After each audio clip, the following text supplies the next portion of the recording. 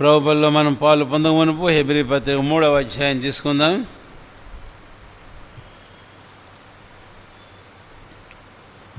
హెబ్రి పత్రిక మూడవ అధ్యాయము. అందరము కలిసి మొదటి వచనం చదువుకుందాం.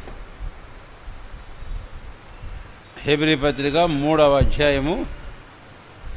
అందరం కలిసి మొదటి వచనం చదువుకుందాం.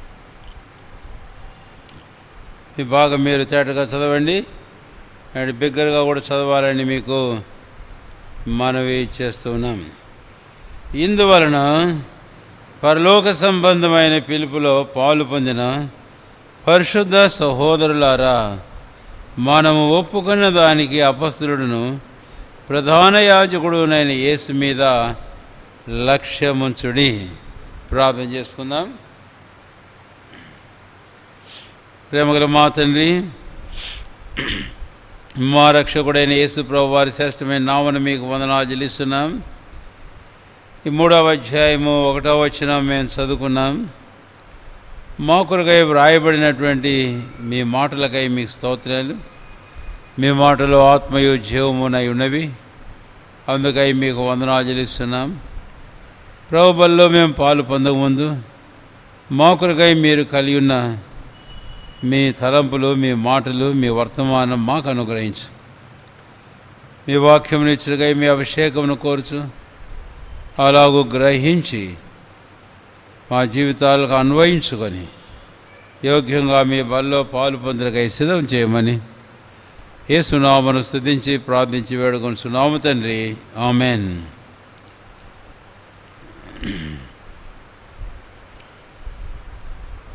మూడవ అధ్యాయము ఒకటవ వచనంలో ఇందువలన పరలోక సంబంధమైన పిలుపులో పాలు పొందిన పరిశుద్ధ సహోదరులారా అని. సరే ఈ మధ్యాహ్నం మన ధ్యానం ఒక ఆ పదమును మనం తీసుకుంటాం ఈ భాగంలో నుంచి.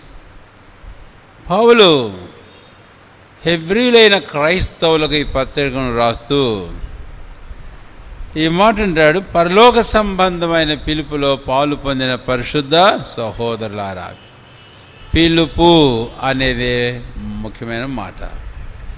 ఆ పిలుపును కూర్చే మనం ఇప్పుడు ప్రభుబల్లో పాలు పొందక ముందు మనం ధ్యానం చేద్దాం. మొదటిదిగా ఏంటి పిలుపు? ఎవరి పిలుపు? రండి ఫిలిపి పత్రిక ఒకట మూడవ అధ్యాయము పద్నాలుగవ వచనం. త్వర త్వరగా తీయాలి మీ బైబిల్ ఫిలిపి పత్రిక మూడవ అధ్యాయము పద్నాలుగవ వచనం. క్రీస్తు యేసునందు దేవుని ఉన్నతమైన పిలుపునకు కలుగు బహుమానం పొందవలనని. ఇక్కడ దేవుని ఉన్నతమైన పిలుపు అనే మాట మనము చూస్తాం. కాబట్టి పిలుపు ఎవరు పిలుపు? దేవుని పిలుపు అనే మాట. ది కాలింగ్ ఆఫ్ గాడ్ ఇదే మొదటి భాగం మీరు ఒకవేళ రాసుకుంటే ఆ మాట వాడాను. దేవుని పిలుపు అని. ఎప్పుడు రాస్తూ పిలువబడిన లేక పిలుపులో పాలు పొందారు అని అన్నాడు. కానీ పిలుపు ఎవరిది? మూడవ అధ్యాయము పిలిపి పద్నాలుగు వచ్చిన మనకు తేటగా ఉంది. దేవుని పిలుపు అనేది. అవును నిజంగా దేవుడు పిలుస్తూనే ఉన్నాడు. ఆదికాండం మూడవ అధ్యాయానికి మనం వెళితే తొమ్మిదవ వచనంలో దేవుడు ఆదాముని పిలిచాడట. ఆదామా నీవెక్కడా? అని. తర్వాత ప్రాచీన గ్రంథం అనగా పరిశుద్ధ గ్రంథం చివరి పుస్తకాన్ని మనం వెళితే ప్రకటన గ్రంథం ఇరవై రెండవ అధ్యాయము పదిహేడవ వచనంలో అక్కడ కూడా ఈ మాట మనం చూస్తాం. ఇచ్చయించు వాని రానిము అంటే లెట్ హిమ్ కమ్ దప్పికొన వాని రానిము అంటే let him come the thirsteth come అనే మాట. మనము దేవుని వాక్యంలో బైబిల్లో ఇంకెన్నో సందర్భాల్లో మనం చూస్తాం. నేను ఇంకా అవన్నీ మీకు జ్ఞాపం చేయడం లే అయితే రెండు పుస్తకాలలో ఎందుకు మీకు జ్ఞాపం చేశానంటే మొదటి నుంచి ఆది కాండము నుంచి చివరి దాకా పరిశుద్ధులైన దేవుడు తాను సృహించిన మానవులను భూమి ఆకాశములను ఆయన పిలుచుచూ వచ్చినట్లుగా మనం చూస్తాం. So God had been calling even from the beginning అంతేకాదు ఆయన చివరి వరకు పిలిచేటటువంటి దేవుడు అని మనం చూస్తాం. కాబట్టే మొదటి తలపు నేను భాగం ఏం చెప్పానంటే ఇది దేవుని పిలుపు అనడానికి ఫిలిపి మూడు పద్నాలుగులో మీకు ఒక వాక్యం నేను జ్ఞాపకం చేశాను అని. తర్వాత రెండవ భాగానికి మనం వెళితే ఈ పిలుపు ఎలాంటిది అనే విషయాన్ని మనము చూడాలి. ఈ పిలుపు ఎలాంటిది అని. మూడవ అధ్యాయము ఒకటవ వచనం ఫిలిప్ హెబ్రి పత్రిక. మూడో ఒకటి ఇందువలన పరలోక సంబంధమైన పిలుపులో పాలు పొందిన పరిశుద్ధ సహోదరులారా ఏం పిలుపు అంటే ఈ పిలుపు? పరలోక సంబంధమైన పిలుపు అని అన్నాడు. ఇది మొదటి మాట ఇక్కడ చూస్తాం. రెండవ భాగంలో హెవెన్లీ కాలింగ్ పరలోక సంబంధమైన పిలుపు అని. అంతేకాదు మరొక మాట కూడా మనం చదువుదాం. రండి దయచేసి పౌలు తిమ్మోతి రాస్తూ రెండవ పత్రికలో ఈ మోట అంటాడు ఒకటవ అధ్యాయము తొమ్మిదవ వచనం. తెలుగులో మనకు చాలా వాక్య రెండు వాక్యాలు కలిసి ఉన్నాయి. అందుకే నేను చివరికి వెళుతున్నాను. మనలను రక్షించి పరిశుద్ధమైన పిలుపుతో ఆయన మనలను పిలిచాను. రెండవదిగా ఎలాంటి పిలుపు అండి ఈ పిలుపు? పరిశుద్ధమైన పిలుపు హోలీ కాలింగ్ అనేది రెండవదిగా చూస్తాం. ఆ తర్వాత మూడవ మాట మనం గమనించినట్లయితే ఇందాక మనం చదివాం ఫిలిపి పత్రిక మూడవ అధ్యాయము పద్నాలుగవ వచనం. ఫిలిపి మూడు పద్నాలుగు. క్రీస్తు యేసునందు దేవుని ఉన్నతమైన పిలుపు. ఏ పిలుపట ఈ పిలుపు? ఉన్నతమైనటువంటి పిలుపు అనే మాట మనం చూస్తాం. కాబట్టి ఒకటి పరలోక సంబంధమైన పిలుపు. రెండవది పరిశుద్ధమైన పిలుపు. మూడవది ఉన్నతమైన పిలుపు. ఇలాంటి పిలుపుతో ప్రభు అయిన దేవుడు మనల్ని పిలిచాడు. అయితే రెండవ భాగం నేను దాటిపోకముందు ఇక్కడ ఒక మాట వాడాలని కోరుతున్నాను. ఈ పిలుపు యొక్క స్వభావం what is the nature of this calling it is heavenly it is holy it is high ఈ పిలుపు యొక్క స్వభావం ఏంటి అంటే అది పరలోక సంబంధమైంది అది పరిశుద్ధమైంది అది ఉన్నతమైనటువంటి పిలుపు. ఓ ఈ రోజున అలాంటి పిలుపుతో దేవుడు మనల్ని పిలవడం ఏంటి? మనం ఎవరం? లోకంలో మానవాళ్ళు ఎవరు? లేక సృష్టిని కూడా ఈ సందర్భాల్లో దేవుడు పిలిచినప్పుడు అసలు సృష్టి కూడా ఏంటి? రోమాపత్రిక ఎనిమిదవ చేయాల మాట రాయబడింది. సృష్టి యావత్తు కూడా దాస్యానికి లోబడి మూలుగుతుంది. మనము కూడాను అలాగ దాస్యానికి లోబడి మూలుగుతున్న వారం. అంతేకాదు దూతలే ఆయన దృష్టికి పవిత్రములు కాకపోతే మనుషుడు ఎలాంటి వాడు అపవిత్రుడు? అయితే ఇలాంటి వారిని దేవుడు ఇటు శ్రేష్టమైన పరలోక సంబంధమైన పరిశుద్ధమైన ఉన్నతమైన పిలుపుతో పిలవడం అనేది ఆశ్చర్యమే. అది ఆయనకి ఇష్టం. అందుకనే రెండవ భాగంలో ఆ పిలుపును గూర్చి మనం మూడు మాటలు చెప్పుకున్నాము. ఆ మూడు మాటల్లో పిలుపు యొక్క స్వభావము the nature of the calling ఏంటి ఎలాంటిది అనేది.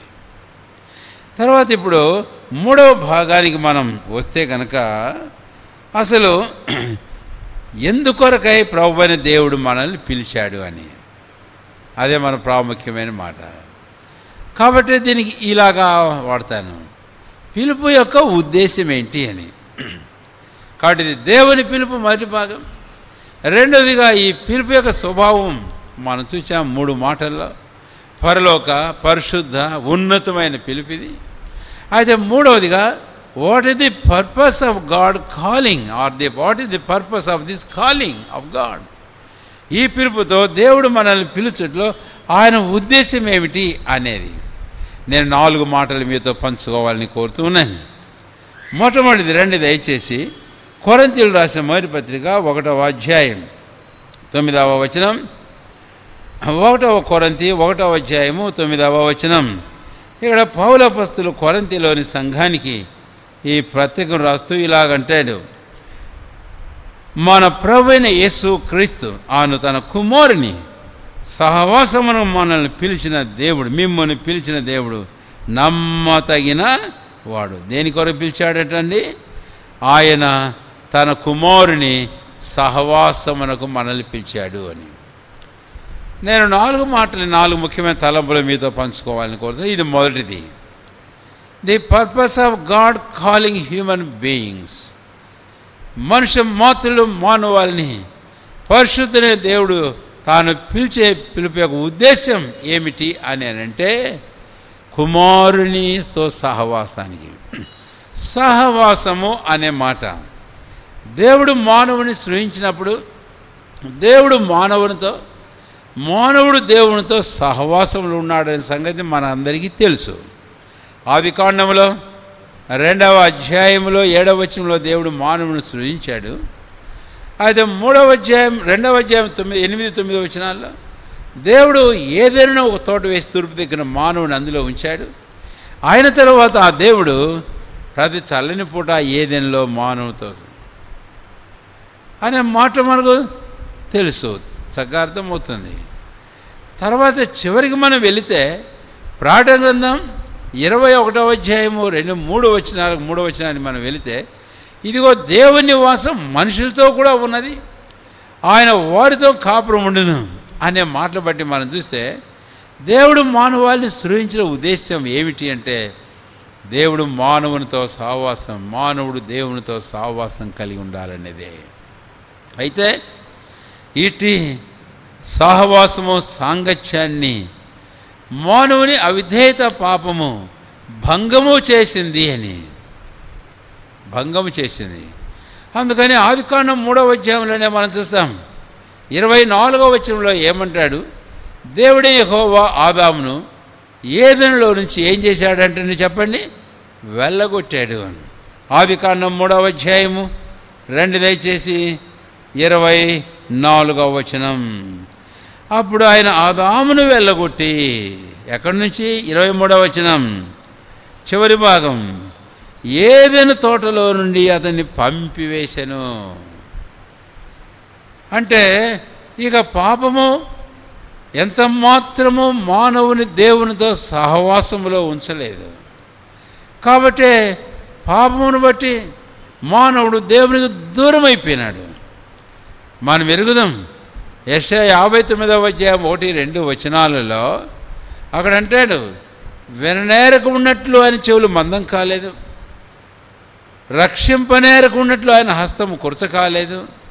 అయితే మీ పాపములు మీకును మీ దేవునికిని అడ్డంగా వచ్చాయి. అదే సపరేషన్ అనేది మనం చూస్తామని రెండవ సమయాల గ్రంథం పద్నాలుగవ అధ్యాయంలో ఈ ఆదికాండం మూడవ అధ్యాయం ఇరవై మూడు ఇరవై నాలుగు వచనాలు ఇంకా చక్కగా కొంచెం విపులంగా మనకు అర్థమయ్యేటట్టు ఉంది. రెండవ సమయాలు గ్రంథం పద్నాలుగో అధ్యాయం పద్నాలుగు వచ్చాం చూడండి మీ బైబిల్ చివరి భాగం చదువుతున్నాను. ప్రాణము తీయక తోలివేయబడినవాడు తనకు దూరస్తుడు కాక ఉండు నిమిత్తం అని అన్నాడు. అంటే ఎవరిని గుచ్చి వ్రాసినట్టున్నాడు ఇక్కడ? ఆదామును గుచ్చే కాబట్టి ఆదాము ప్రాణము దేవుడు తీలే అంతేకాదు ఆదాము త్రోలివేయబడ్డాడు. మూడు ఇరవై మూడులో మనం చదివాం. కాబట్టి ఆదాము దేవునికి దూరస్తుడయ్యాడు తేటగానే మనకు అర్థమవుతుంది.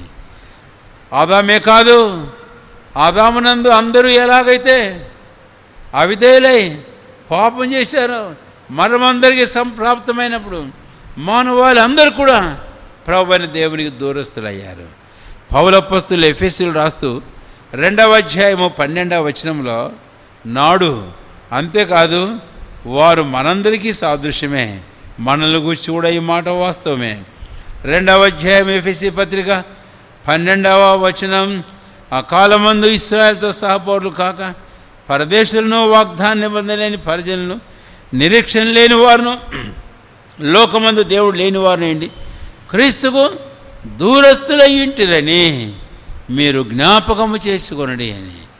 ఇక్కడ ఇస్రాయేలు ఆ తర్వాత ఇస్రాయేల్తో మీరు అని అన్నప్పుడు అన్యుల గురించి మాట్లాడుతున్నాడు. ఈరోజు మనం అందరం కూడా ఇస్రాయేల్కు వేరైన అన్యులమే మనం ఇస్రాయేలం కాం భౌతికంగా అబ్రాహ్మ సంతానం కాం. అలాంటి వారమైన మనల గురించి ఇప్పుడు తేటగా ఈ మాట మీరు క్రీస్తువు దూరస్తులయ్యింటది అని. ఎందుకో రెండవ అధ్యాయం పన్నెండవ వచ్చిన ఆ మాట అనడానికి రెండవ అధ్యాయం ఒకటో వచనంలో మనం చూస్తాం మీరు మీ అపరాధమ చేతను పాపం చేతను చచ్చిన వారు అని.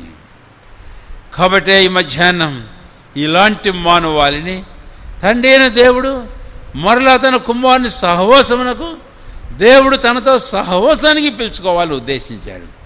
కుమారుని సహవాసానికి అని అంటే మరి దేవునితో కాదు కదా అని అనుకుంటామా?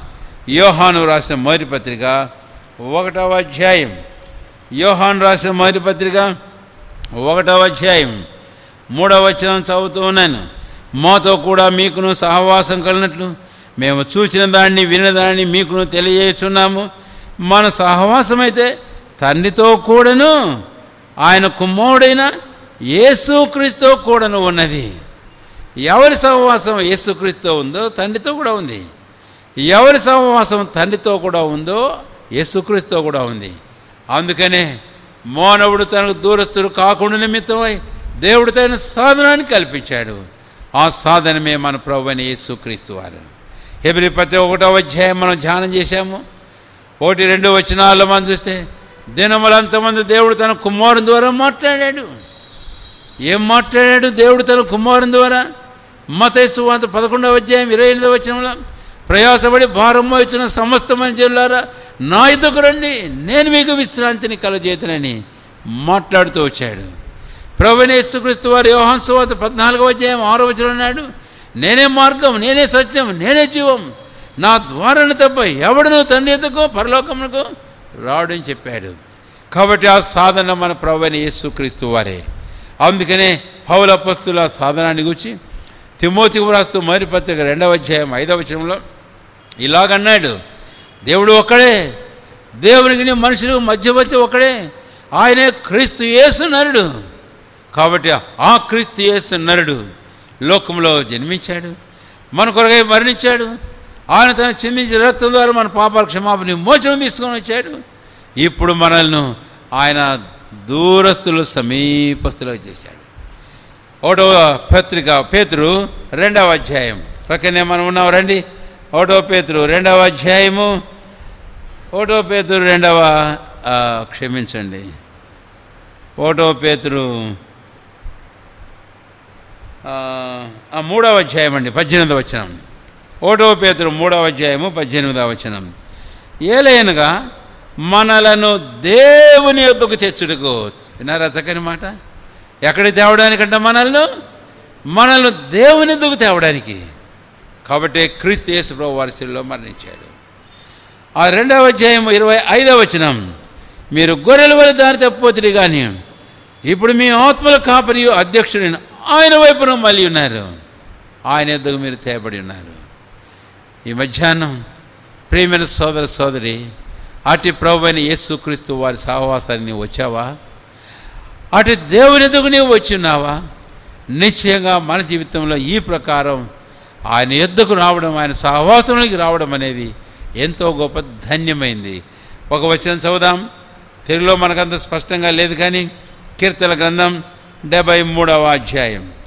డెబ్బై మూడవ అధ్యాయము రండి దయచేసి.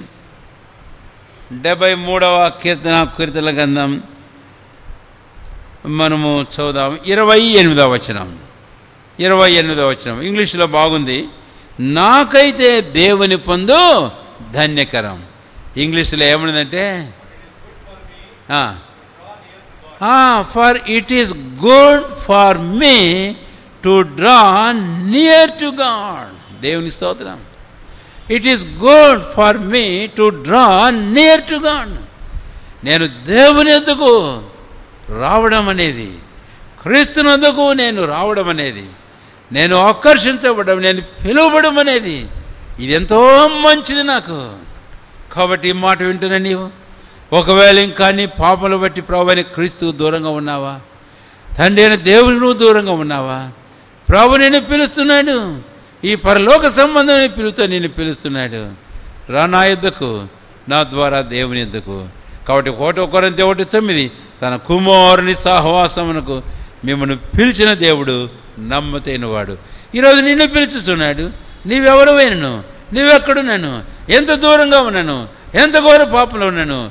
ఎన్ని వెసోలకు పోనిసవైనాను ఇది దేవుని యొక్క ఇష్టం నీ పట్ల. కాబట్టి ప్రభు నిన్ను పిలుస్తుంటుంటే తగ్గించుకో పశ్చాత్తాపడి పాపం ఒప్పుకో క్రైస్తవ విశ్వాసముంచు ఆయన ద్వారా తండ్రి దగ్గర it is good for me to draw near to God it is good for you in your life రెండవ తలంపుకు మనం వద్దాం. రెండు దయచేసి రెండవ ఉద్దేశానికి మనం వస్తే కనుక నేను మరొక మాట జ్ఞాపం చేయాలని కోరుతున్నాను ఏమిటి అది అని అంటే ఇందాక మనం చదివాం ఒకటవ తిమ్మోతి రెండవ అధ్యాయం రండి దయచేసి. తిమ్మోతి పత్రిక రెండవ తిమ్మోతి అండి ఒకటవ అధ్యాయము తొమ్మిదవ వచనం. రెండవ తిమ్మోతి ఒకటవ అధ్యాయము తొమ్మిదవ వచనం. ఆ చివరి భాగంలో మనం చదివాం. పరిశుద్ధమైన పిలుపుతో ఆయన మనల్ని ఏం చేశాడంటే చెప్పండి? పిలిచాడు అనే మాటను చూస్తాం.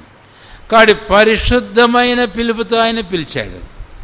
కాబట్టి ఇక్కడ మనం చూస్తాం ఆయన మనల్ని పిలిచిన పిలుపు పరిశుద్ధమైంది అని అంటే ప్రభువైన దేవుడు మనల్ని ఎందుకు పిలిచాడు అనే విషయానికి మనం వస్తే ఇప్పుడు ఒకటవ కొరంతి ఒకటవ అధ్యాయము రెండవ వచనం. ఒకటో కొరంతి ఒకటో అధ్యాయం రెండో వచనం అందరం కలిసి చదువుకుందాం. చెప్పండి మీ బైబిల్ బిగ్గరగా చదవండి. ఆరాధనతో కూడా ఏకవించి బిగ్గరగా ఆమెనని చెప్పమంటే చాలాసార్లు నీరసంగా సచ్చుగా ఉంటా ఉంటాం. కాదు బిగ్గరగా చదవండి. ఓడో కొరంతి ఒకటవ అధ్యాయము రెండవ వచనం. కోరంతిలో ఉన్న దేవుని సంఘమునకు అనగా క్రీస్తు చేసినందు పరిశుద్ధ పరచబడిన వారై పరిశుద్ధులుగా ఉండటకు పిలువబడిన వారికి. దేని కొరకు ఆయన పిలిచాడు? పరిశుద్ధులుగా ఉండటకు పిలువబడిన వారు కాబట్టి రెండవ తిమోతి ఒకటి తొమ్మిదిలో మనం చూచాం ఆయన పరిశుద్ధమైన పిలుపుతో మనల్ని పిలిచాడు. ఎందుకు అనంటే మనం పరిశుద్ధంగా ఉండడానికి పిలిచాడు. ఇక్కడ నేను ఈ మాట జ్ఞాపం చేయాలని కోరుతున్నాను. ఒకవేళ చివరిలో నేను ఆ పదాలు జ్ఞాపం చేస్తే బాగుంటుందేమోలేండి. ఈరోజు మన జీవితాలలో మనం ఎలాంటి వారంగా జీవిస్తున్నాం? కాదనం. నువ్వు రక్షణ పొందావు మంచిదే. ప్రభు దగ్గరకు వచ్చావు. ప్రభు సహవాసానికి వచ్చావు మంచిదే. అయితే అలాంటి వారంగా మనం ఎట్టి వారంగా ఉండడానికి పిలువబడ్డాము అనే విషయానికి మనం వస్తే కనుక మనం పరిశుద్ధులంగా ఉండడానికి పిలువబడ్డాము. రెండోది మరొక మాట కూడా ఇక్కడ జ్ఞాపం చేస్తాను. పౌలపస్తులు కొరంతిలు రాస్తూ మొదటి పత్రిక ఏడవ అధ్యాయము పదిహేనవ వచ్చిన ఒక మాట అంటాడు. రెండు దయచేసి ఒకటో కొరంతి ఏడవ అధ్యాయం అది కూడా కొరంతి పత్రికలోనే. పదిహేనవ వచనం. భార్యాభర్తల సంబంధానికి వచ్చి మాట్లాడేటప్పుడు పౌలు ఇలాగా అంటాడు. చివరి భాగం నేను చదువుతున్నాను. సమాధానముగా ఉండుటకు దేవుడు మనలను పిలిచి ఉన్నాడు. కాబట్టి సమాధానముగా ఉండుటకు దేవుడు మనల్ని పిలిచి ఉన్నాడు అని. దీన్ని బట్టి మనం చూస్తే రెండు మాటల ద్వారా మనకి ఏమర్థమవుతుంది క్రీస్తుతో సహవాసంలోని పిలువబడిన వారమైన మనం రక్షణ కోసం పిలువబడ్డామని అంటున్నాను. నేను ఇప్పుడే చెబుతున్నాను ఆ మొదటి పదం. రెండవదిగా మనం రక్షించబడిన మనం మన జీవితాల్లో మనము ఇలాంటి వ్యక్తిత్వము ఇలాంటి స్వభావము కలిగి జీవించడానికి మనం పిలువబడ్డాం. మరొక మాట పౌలు అంటాడు. ఫిలిపి పత్రిక రెండవ అధ్యాయం ఐదవ వచనంలో ఏమని? క్రీస్తు యేసును కలిగిన ఈ మనస్సును మీరును కలిగి ఎలాంటి మనస్సు? క్రీస్తు యేసు యొక్క మనస్సు. ఆయన కూర్చుందాక మనం చూచాం. ఆయన పేరే ఆ పేరు. ఆయన పరిశుద్ధుడు. జన్మలో లూకా ఒకటో అధ్యాయం నలభై ఏడు నుంచి నలభై తొమ్మిదిలో. ఆయన జన్మ పరిశుద్ధమైంది ఆయన నామం పరిశుద్ధమైంది ఆయన జీవితం పరిశుద్ధమైంది. నాలో పాపున్నదని ఎవడైనా చెప్పగలడు? ఆయన మరణం పరిశుద్ధమైంది. కాబట్టి పరిశుద్ధుడు హెబ్రి ఏడు ఇరవై ఆరు. అక్కడ ఆ మాట రాయబడింది పవిత్రుడు నిర్దోషి నిష్కల్మషుడు పాపుల్లో చేర ప్రత్యేకంగా ఉన్నవాడు అని ఆయన గురించి రాయబడింది. కాబట్టి ఈరోజు మన జీవితాలలో ఆ క్రీస్తు వల్ల ఉండని మనం పిలువబడ్డాం. అటు క్రీస్తు మనసు మన ఉండడానికి కొరకై మనం పిలువబడ్డాం. అంతేకాదు ఆయన పేరు సమాధానం. ఎఫ్ఎస్సి రెండవ అధ్యాయం పద్నాలుగవ వచనంలో ఆయన మన సమాధానమైన Christ who is our peace అని అంటాడు. యక్షాగంధం తొమ్మిదవ అధ్యాయం ఆరో వచనంలో మనం వింటాం. అక్కడ రాయబడింది ఏమని? ఆలోచనకర్త బలవంతుడు దేవుడు సమాధానకర్తయగు ది ప్రిన్స్ ఆఫ్ పీస్ ఆయన పేరు. దాంట్లో మనకు అర్థమవుతుంది. తర్వాత కొలసి పత్రిక మూడవ అధ్యాయము పన్నెండు పదమూడు వచనాల్లో మనం గమనించినట్లయితే కనుక మీరును జాలిగల మనసును మీరు కలిగి ఉండండి. ఆయన ఎలాంటి మనసు గలవాడు అనేది మనం చూస్తాం. అందుకనే ఈ రెండవ తలంపులో దేవుడు మనల్ని ఎందుకు పిలుస్తున్నాడు అంటే ఆయన మనల్ని పిలుస్తున్నాడు. ఇలాంటి వ్యక్తిత్వం ఇలాంటి స్వభావము కలిగి మనం జీవించడానికి. ఎఫ్ఎస్సి నాలుగు పదిహేను. అక్కడ ఆ ఒకే మాట మనం జ్ఞాపం చేస్తే మీరు అన్ని సత్యము చెప్పచ్చు అన్ని విషయంలో క్రీస్తు వలె ఉండుటకు ఎదుగుడి. క్రీస్తు వలె ఉండాలి. అందుకొరకై ఆయన మనల్ని పిలుస్తున్నాడు. ఓ ఈరోజు మనం అర్థం చేసుకుందాం. నేను మూడు నాలుగు వాక్యాలు నేను మీకు జ్ఞాపం చేశాను. ఏమిటి ఆ మూడు వాక్యాలు? ఒకటో కొరంతి ఒకటో అధ్యాయం రెండవ వచనం ఒకటో కొరంతి ఏడవ అధ్యాయం పదిహేనవ వచనం. అంతేకాదు మళ్ళా క్రీస్తు వలె ఆయన జాలి అలా అన్నప్పుడు కొలసి మూడవ అధ్యాయం పన్నెండు పదమూడు వచనాలు నేను జ్ఞాపం చేశాను. ఈ సందర్భాలన్నింటిలో మనం చూస్తే ఫిలిపి రెండు ఐదు మనం క్రీస్తు వేసిన కలిగిన ఆ మనసును మెరును కలిగి ఉండండి. అటు జాలిగల మనసును కలిగి ఉండండి. అటు క్షమాపణ మనసు కలిగి ఉండండి. కాబట్టే ఈ మధ్యాహ్నం ఒక్కసారి మా జీవితాలు పరీక్షించుకోవాలి. పేతురు అపస్తులు దీని గురించి మాట్లాడుతూ రెండవ పేతురు ఒకటవ అధ్యాయము నాలుగవ వచనంలో ఈ మాట అంటాడు. రండి. నేను స్వభావమని వాడాను కాబట్టి అక్కడికి ఆ మాటకు వద్దాం రెండవ పేతురు ఒకటవ అధ్యాయము ఒకటవ అధ్యాయము నాలుగవ వచనం. ఆ చివరి భాగం దయచేసి గమనించండి. దేవ స్వభావనందు పాలివారు అన్నట్లు వాటిని అనుగ్రహించాను. దేవ స్వభావనందు పాలివారలం. కాబట్టి ఈ మధ్యాహ్నం ఒకసారి మా జీవితాలు పరీక్షించుకుందాం. కాబట్టి ఈ ప్రకారం మన జీవితాల్లో క్రీస్తు వలె ఉండటకు ఆ ప్రభువైన క్రీస్తు స్వభావం కలిగినట్టుకు తర్వాత ఆయనకు వలె పరిశుద్ధత సమాధానం ప్రేమ కలిగి ఉంటుకు ఈరోజు మన జీవితాల్లో అట్లు జీవించేందుకొరకై మనం పిలువబడిన వారంగా ఉన్నాం. కాబట్టి ఈ రెండవ తలంపు ఇక్కడే మనం ముగించుకుంటాం. ఈ విషయాలు మన జీవితాలకు అన్వయించుకుంటే కొన్నిసార్లు వారిని వీరిని చూస్తాం కాదు మనము ప్రభువైన క్రీస్తులో చూసుకోవాలి క్రీస్తుతో పోల్చుకోవాలి. ఆయన ఎందు మనం ఏమై ఉన్నామో అది మనం చూసుకోవాలి. అప్పుడు మనకు అర్థమవుతుంది మనం ఎలాగున్నామనేది. అలాగూ చూసుకొని మన తప్పిదములు సరి చేసుకొని క్షమాపణ కోరుకొని ప్రభుకు మనం సమర్పించుకొని యోగ్యంగా పనిలో పాల్పొందాం. ఆయన మనల్ని పిలిచిన పిలుపు ఎలాంటిది అని అంటే it is holy calling to live holy to live in peace అంతేకాదు to live as Christ lived అందుకనే పౌల పస్తులు ఒక మాట అంటాడు గలితీ పత్రిక రెండవ అధ్యాయం. రెండవ అధ్యాయము రండి దయచేసి. ఇరవై అవ వచనం నేను చదువుతున్నాను. నేను క్రీస్తు కూడా సెలవేయబడి ఉన్నాను. ఇక జీవించువాడు నేను కాను. క్రీస్తే నా ఇందు జీవించుచున్నాడు. ప్రాముఖ్యమైన మాట ఇప్పుడు గమనించండి. నేనిప్పుడు శరీరమందు జీవించుచున్న జీవితము. కాబట్టి చాలా ప్రాముఖ్యమైన మాట అది అండర్లైన్ చేసుకోండి. నేను ఇప్పుడు శరీరమందు జీవించుచున్న జీవితం. ఇంతకుముందు కాదు. లేక దమస్సు మార్గంలో ప్రభు నన్ను కలుసుకున్నప్పుడు నేను రక్షించబడ్డాను ప్రభు చూచాను. మంచిదే. అప్పుడు కాదు. అయితే ఈరోజు ఇన్ని సంవత్సరాల క్రైస్తవ అనుభవం తర్వాత పౌరంటాడు నేను ఇప్పుడు శరీరం మందు జీవించుచున్న జీవితం. చివరికంటాడు నేను కాదు క్రిస్టియన్ అయిందో జీవించుచున్నాను. ఓ ఇందుకే దేవుడు మనల్ని పిలిచున్నాడు కాబట్టి ప్రభుని ప్రేమైన సోదర సోదరులారా ఆ పిలువని పిలుపు తగినట్టు మా జీవితాల్లో మనం నడుచుకుందాం. ఎలాంటి శ్రేష్టమైన పిలుపుతో పిలిచాడు. కాబట్టి నేను ఇప్పుడు జీవించుతున్న జీవితం నిన్న కాదు మొన్న కాదు ఇప్పుడు జీవించుతున్న జీవితం. ఎలాగ జీవిస్తున్నాను? నేను కాదు జీవించేది క్రీస్తే నా ఎందు జీవించున్నాను అంటే క్రీస్తు ఆయన పేరును బట్టి మనం చూచాం.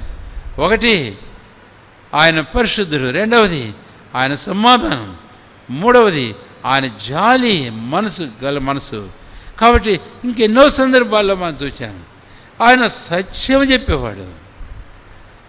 అందుకే బైబిల్ వ్రాయబడింది. వాడు అబద్ధికుడు. నేను మార్గం నేను సత్యం. కాబట్టి ఒకటో వ్యూహాన్ని ఐదవ అధ్యాయంలో ఏమంటాడు? పద్దెనిమిది నుంచి మనం చూస్తే పంతొమ్మిది ఇరవై వచనాల్లో మనం సత్యవంతులైన వాడిని దేవుని ఎందున్నాం? ఓ ఇలాగున్నామా మన జీవితాల్లో? ఒకసారి పరిశీలించుకుందాం. మన పిలిపెట్టుదో మనం గుర్తుంచుకొని ఆ పిలుపు తగ్గట్టు మన జీవితాల్లో మనం జీవించడం కాక ఇప్పుడు మూడవ తలంపుకు మనం వద్దాం. రండి గలితీ పత్రిక ఒకటవ అధ్యాయము పదిహేనవ వచనం. గలితీ పత్రిక ఒకటవ అధ్యాయము పదిహేనవ వచనం. అందరూ తీయని దయచేసి. ఒకటి పదిహేను. తీయండి మీ బైబిల్లో. ఒకటి పదిహేను. ఆయనను తల్లి గర్భమందు పడినది మొదలుకొని నన్ను ప్రత్యేకపరిచిన పరిచి తన కృపచేత నన్ను పిలిచిన దేవుడు దేనికి పిలిచాడు? నేను అన్యజనులలో తన కుమారుని ప్రకటింపవలెనని పిలిచాడు. తన కుమారుని ప్రకటించవలెనని అనే మాట దయచేసి గమనించండి. వాడు దేవుడు నన్ను పిలిచాడు. God hath called me. Why what is the purpose of my calling అంటే ఇట్ ఈస్ టు ప్రీచ్ ఈ సన్ క్రైస్ట్ తన కుమారుడు క్రీస్తు యేసును ప్రకటించవలనని. అని సరే ఇప్పుడు ఈ మూడవ పిలుపును గూర్చి నేను మాట్లాడేటప్పుడు ఈ పిలుపు ఏం పిలుపు అనేది చెప్పాలి. అందుకే ఇందాక మనం చెప్పుకున్నాం కదా మూడు పిలుపులు ఫిలిపి పత్రిక మూడవ అధ్యాయం. రండి ఇది పౌలే కదా చెప్పాడు? ఫిలిపి పత్రిక మూడవ అధ్యాయం పద్నాలుగవ వచనం. పద్నాలుగవ వచనం క్రీస్తు యేసునందు దేవుని ఉన్నతమైన పిలుపునకు కలుగు బహుమానం పొందవలని గురి ఎత్తుకే దేవుని ఉన్నతమైన పిలుపు దేని కొరకై పిలిచాడు అనేది గలతీ ఒకటి పదిహేనులో మనం చదువుకున్నాం. దేని కొరకై పిలిచాడు అంటే కుమార్ని ప్రకటించడానికి పిలిచాడు. ఒకటో కొరంతి ఒకటో అధ్యాయాలు అంటాడు నేను బాప్తిసమిచ్చుడు కాదు సిలువేబిన క్రీస్తుని మేము ప్రకటించుతున్నామన్నాడు అంతేకాదు ఆయన ఇంకా చాలా సందర్భాల్లో మాట్లాడాడు. అపస్తుల గారు ఇరవై అధ్యాయంలో మాట్లాడుతూ మీకు ప్రయోజనకరమైనది ఏది? నేను దాచుకోలేదు అవన్నీ నేను మీకు బోధించాను అంతేకాదు కొలసి ఒకటో అధ్యాయంలో చివరి వచనాల్లో మాట్లాడుతూ అక్కడంటాడు ప్రతి మనిషిని సంపూర్ణునిగా చేసి క్రీస్తుని నిలబెట్టవాలని మౌనక ప్రతి మనుషునికి బుద్ధి చెబుతున్నానన్నాడు.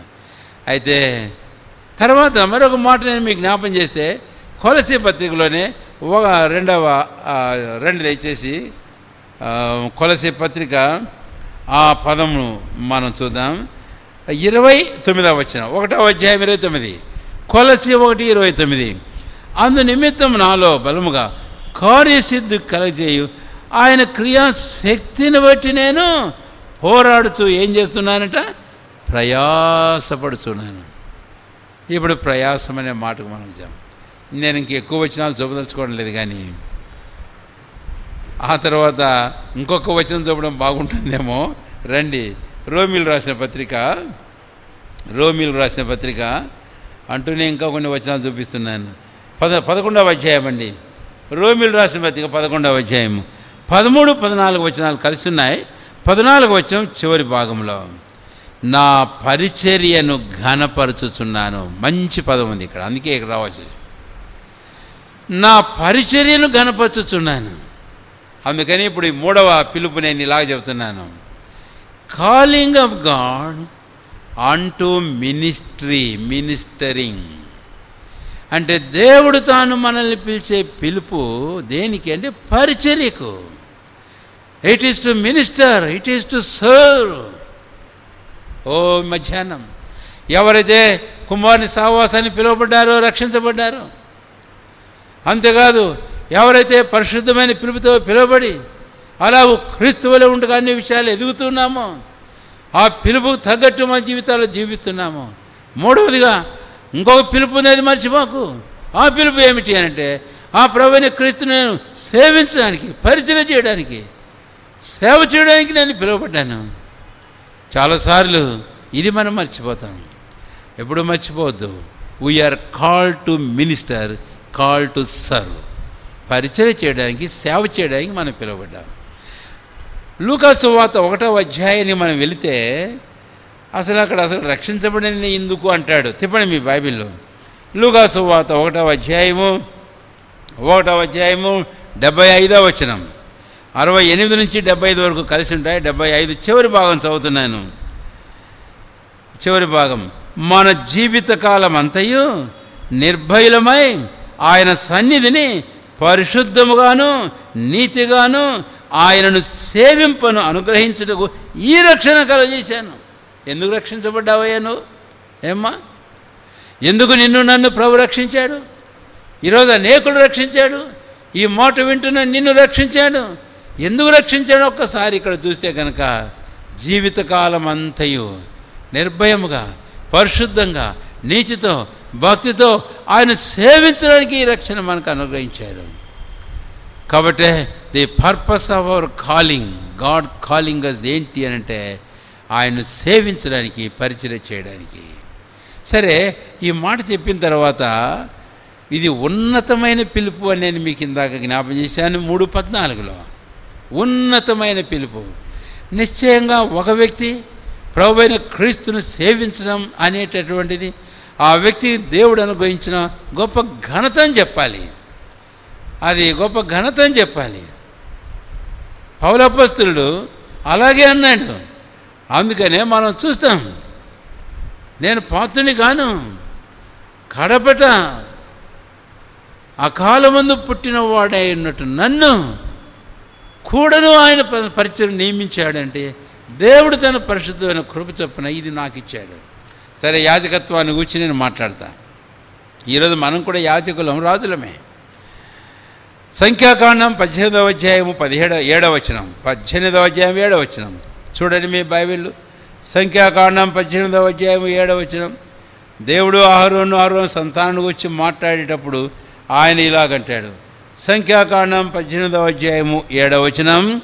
కాబట్టి నీవును నీ కుమారులు బలిపీఠ పనులన్నిటి విషయంలోను అడ్డతెర లోపల దాని విషయంలోను యాజకత్వం జరుపుతూ సేవ సేవ చేయవలను. విన్నారా మాట? నీవు నీ కుమారులు. ఇప్పుడు వినండి. దయచేతనే మీ యాజకత్వం సేవ నేను మీకు ఇచ్చున్నా. అంటూ మళ్ళీ అన్నాడు. అన్యుడు సమీపించకూడదు. సమీపిస్తే సస్తాడాడు. ఆరోను ఆరోను కుమారులకు ఇచ్చిన సేవను గురించి ఇక్కడ మాట్లాడారు. ఇప్పుడు రండి. హెబ్రి పత్రిక ఐదవ అధ్యాయం. హెబ్రి పత్రిక ఐదవ అధ్యాయం.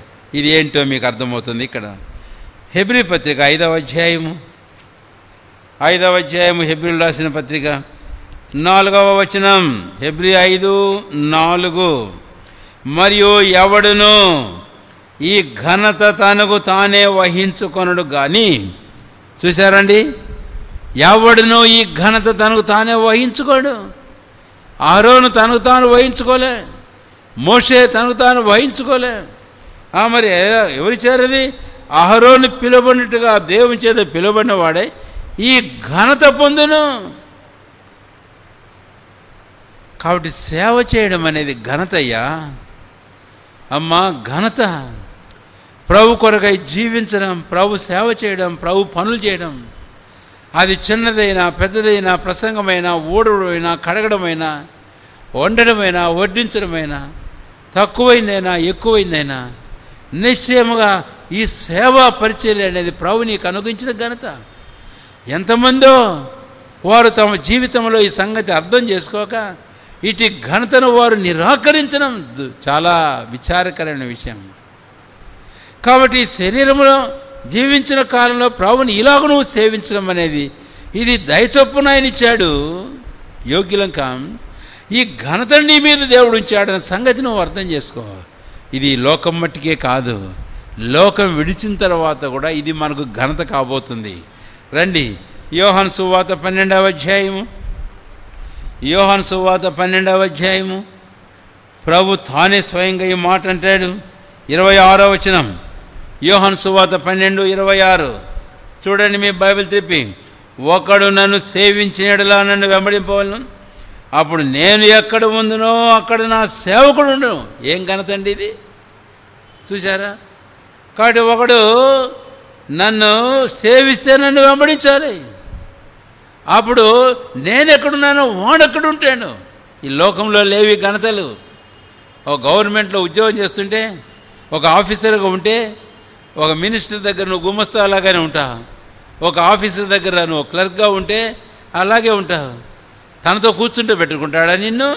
లేదు. అయితే ఎస్ ఏముంటాడు చూడండి. ఇరవై ఆరో వచనంలో ఒకడు నన్ను సేవించిన నన్ను వెంబడించాలి. అప్పుడు నేనెక్కడ ఉన్నానో అక్కడ నా సేవకుడు ఉంటాడట. ఏమిటండి ఘనత? కాబట్టి లోకంలో నువ్వు ఎవరికి ఏ ప్రభుత్వానికి ఏ ఆఫీసర్ లేక ఏ ఉద్యోగం చేసినా ఈ ఘనత నీకు లేదు.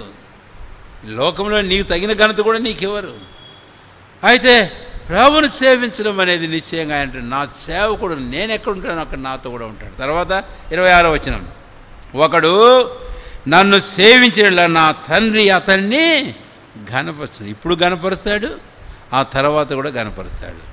అందుకనే ఈ మధ్యాహ్నం ఇలాంటి పిలుపుతో మనం పిలువబడుతున్నామన్న సంగతి మనం గుర్తుంచుకుందాం. ఈ తలపు నేను ముగించక ముందు ఫిలిపి పత్రిక వద్దాం మూడవ అధ్యాయం. ఫిలిపి పత్రిక మూడవ అధ్యాయం. ఆయన ఏం చేస్తున్నాడో చూడండి. ఫిలిపి మూడవ అధ్యాయము మూడవ అధ్యాయము ఫిలిపి పత్రిక. దయచేసి రండి. పద్నాలుగు వచ్చిన కదా ఇందాక మనం చదివాం. క్రీస్తు యేసునందు దేవుని ఉన్నతమైన పిలుపున కలుగు బహుమానం పొందవలనని గురి యొద్దకే పరిగెత్తుచున్నాను. I press forward to the mark నేను ఆ గురి యొద్దకే పరిగెత్తుచున్నాను నేను వెనక్కి తీయడంలే. నేను ఆగిపోవడంలే. విన్నారా మాట? నేను మీకు రెఫరెన్స్ చూపిస్తే చాలనుకుంటున్నాను నువ్వేం చేస్తున్నావు మరి? గురెత్తికపోతున్నావా వెనక తీసావా లేక ఆగిపోయావా? మానుకున్నావా? ప్రభుని సేవించట్లో? ఆయనకు అప్పగించిన దాన్ని కొనసాగించట్లో? ముందుకు ముందుకు ముందుకు. అదిగో గురెత్తుకు నువ్వు వెళ్ళు. వెనక్కి తీసింటే క్షమాపణ కోరుకుని ప్రభు సమర్పించుకో. అంతేకాదు ఇందాక రోమాపతి పదకొండవ అధ్యాయంలో ఒక వచనం మనం చదివాం. అక్కడికి మరలా వద్దాం. అక్కడ ఇంకో చక్కని మాట నేను జ్ఞాపం చేయాలని కోరుతున్నాను. రండి. పది పదకొండవ అధ్యాయము పద్నాలుగవ వచనం చివరి భాగం తెలుగులో. నా పరిచర్యను ఘనపరుచుతున్నాను not only pressing forward to that mark ముందుకు పోవడమే కాదు పరిచయం కొనసాగించడమే కాదు. నేను ఎలాగ ఎంచుతున్నాను నా పరిచయం అంటే నేను నా పరిచయను ఘనపరుస్తున్నాను. ఐ హానర్ మై ఆఫీస్ విశ్వాసులమైన మనం. ప్రభు మనకు అనుగ్రహించినట్టు ఈ పని పరిచయం ఈ ప్రకారం ఘనపరచడం మన జీవితంలో నేర్చుకోవాలి. నేర్చుకుందాం. చూడండి పౌలు యొక్క తీర్మానం ఎలాగుందో. ఆ తర్వాత నేను మీకు జ్ఞాపం చేస్తే మూడవ అధ్యాయం పద్నాలుగు వచనంలో నేను దేవుని చేత ఎందు నిమిత్తం పిలువబడ్డాను. మళ్ళీ మూడు పద్నాలుగు రండి. క్రీస్తు చేసినందు దేవుని ఉన్నతమైన పిలుపును కలుగు బహుమానమును పొందవలెనని గురెదుగా పరిగెత్తు దేనికి పరిగెత్తున్నాడట బహుమానమును పొందవలని అంటే ఇక్కడ తేటగా మనకు ఒకటి అర్థమవుతుంది. ఇందాక ఆరాధనలో మాట చెప్పుకున్నాం. ప్రతివాడు క్రీస్తు న్యాయపడి నిలబడాలి. అప్పుడు దేహమందుండి వాడు జరిగించిన క్రియలకు వాడు ప్రతిఫలం బహుమానాలు పొందాడు. కాబట్టే బహుమానం పొందాడు. నిశ్చయంగా మనకు రే బహుమానాలు ఉన్నాయి? మనం చేసే పని పరిచయం దేవుడు మర్చిపోడు. హెబ్రి ఆరో అధ్యాయం మళ్ళీ తొమ్మిది పది వచనాలు నేను మీకు జ్ఞాపం చేస్తున్నాను. అక్కడ అంటాడు పౌలు అప్పస్తులు ప్రభు నామను బట్టి చూపిన ప్రేమను మచ్చుడు దేవుడు అన్యాయస్తుడు? కాడు మరి ఇంకెందుకు ఆలస్యం చేస్తున్నావు? ఎందుకు అశ్రద్ధ చేస్తున్నావు? ఎందుకు వెనక తీస్తున్నావు? ఒకటో కొరంతి పదిహేనవ అధ్యాయం. అందరం కలిసి చదువుకుందాం. చివరిగా వచనం ముగింపు తలము వెళ్ళిపోతుంటుండగా రండి. ఒకటో కొరంతి పదిహేనవ అధ్యాయం. త్రిపణి మీ బైబిల్లో పదిహేను యాభై ఎనిమిది. ఒకటో కొరంతి పదిహేను యాభై ఎనిమిది. హుషారుగా ఉండాలి. పదిహేను యాభై ఎనిమిది. అందరం కలిసి బిగ్గరగా. కాగా నా ప్రియ సహోదరులారా మీ ప్రయాసం ప్రవణింది వ్యర్థం కాదని ఎరిగి స్థిరులను కాదలని వారును ప్రభు కార్యాభివృద్ధి ఎందు ఎన్నట్టుగా ఆసక్తులైండండి కథలకు స్థిరంగా ఉండు ఆసక్తి కలిగి ఉండు. ఎందుకు? ప్రభునందు నీ ప్రయాసం ఎంత మాత్రము వ్యర్థము కాదు. దేవుని స్తోత్రం. కాబట్టి మూడవది ఉన్నతమైన పిలుపుతో దేవుడు నన్ను పిలిచాడు. నిన్ను పిలుస్తున్నాడు ఈ మధ్యాహ్నం. ఆ పిలుపు దేనికి అంటే ఆయన్ను సేవించి దాని కొరకాయ అదే మనం చెప్పుకుంటాం వెనక తీసుంటే క్షమాపణ కోరు చల్లారిపోయింటే ఒప్పుకో. ప్రభుకు అప్పగించుకో. నూతనమైన తీర్మానం చేసుకో. ప్రభు కొరకై జీవించాను సేవించింది సేవించేందుకు కొరకై.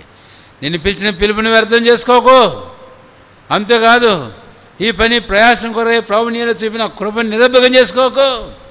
అంటాడు పౌలపస్తుడు రెండవ కొరింత ఆరో వచ్చిన ఒకటో వచ్చినంలో నా ప్రియ సహోదరులారా మీరు పొందిన కృపను నిర వ్యర్థం చేసుకోవద్దని మిమ్మల్ని బ్రతిమాలుచున్నాను. అయితే తన విషయం చెబుతూ ఒకటో కొరంతి పదిహేను వచ్చిన పదే వచ్చిన ఒక మాట అంటాడు. నాకు అనుగ్రహింపబడిన కృప నిష్ఫలం కాలేదు. ఎందుకు? అంటే వారందరికంటే నేను ఎక్కువగా ప్రయాసపడ్డాను. నీవు కన్నా ప్రయాసపడకపోతే ఈ పని నీవు అర్థం చేసుకోకుండా ఆ ప్రకారం జీవించకుండా ఉంటే నీ పిలుపుగా అవుతుంది.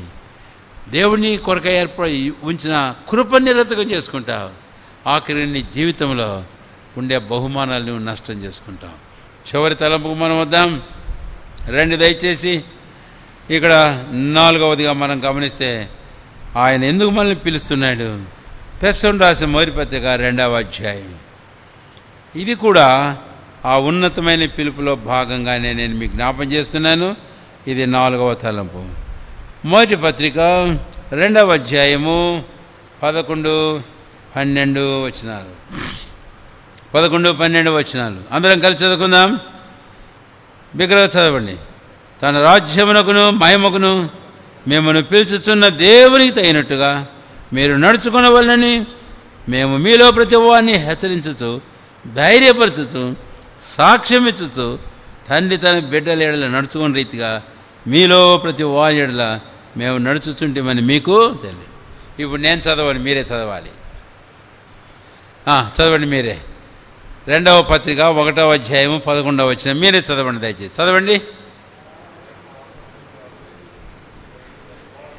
ఏ నా వైపు చూస్తున్నారు ఇంకా కొంతమంది. మీరే చదవండి. రె తెస్సలోనికలకు రాసిన మొదటి పత్రిక రెండవ అధ్యాయము పదకొండవ వచనం పన్నెండవ వచనం. మళ్ళీ చదవండి. మీరందరూ బిగ్గర చదవండి.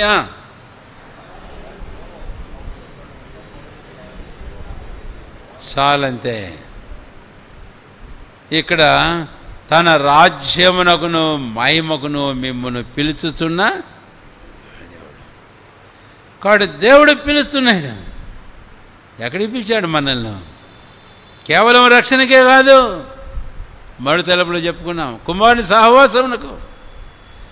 రెండవదిగా కుమారుని వల్ల జీవించడానికే కాదు అలాంటి పరిశుద్ధమైన మంచి స్వభావం కలిగి. మూడవదిగా ఆయన సేవించేందుకొరకు ఉన్నతమైన పిలుతో పిలవడమే కాదు సేవ చేస్తాం చేయాల్సిందే. నాలుగవదిగా రాజ్యమునకు మహిమకు మనల్ని పిలిచాడు. కాబట్టే నాలుగవ తలంపు మనం అర్థం చేసుకుందాం. ఈ రాజ్యము మహిమ నేను ఆ ఉన్నతమైన పిలుపులోనే కలుపుతున్నాను. ఎందుకు అనంటే ఏ రాజ్యాన్ని మనం పిలువబడ్డాం అనేది మనం చూస్తాం. నేను మరొక మాట కూడా జ్ఞాపకం రాజ్యమునకును మహిమకు మళ్ళీ పిలిచాడు అన్నాడు కదా ఏ రాజ్యం? ఆ రాజ్యం?